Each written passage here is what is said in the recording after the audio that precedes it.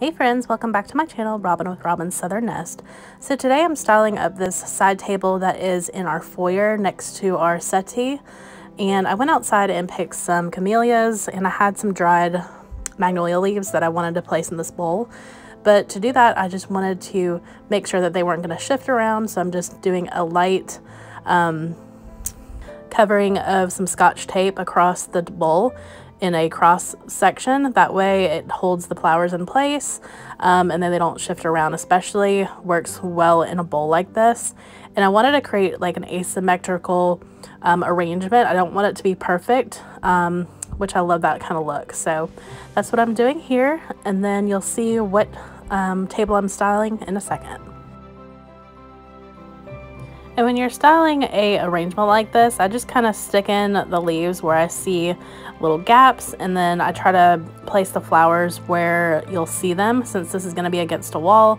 I have majority of the flowers on the front side of the arrangement since you really won't see the back side that much.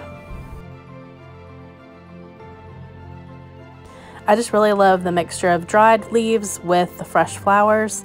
Um, I'm going to go ahead and dust off this table before I style it um, since it had seen a little dust. And Mr. Kata Potatoes feeling much better today and he's helping me style today. I'm going to keep this area pretty simple. It's just a small table so I want to do the arrangement along with some candlesticks and then a basket to go underneath. I'm just going to drape some um, throws here and a pillow just to make it a little bit cozy. So that is what I came up with. I love this little nook, especially with our vintage phone that we got at an antique store. I just think it's super cute and I just love how this space has come to life right underneath our stairs.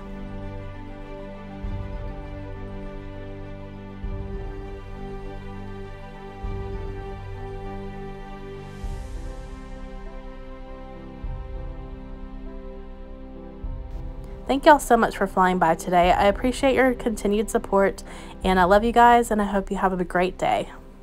Bye y'all.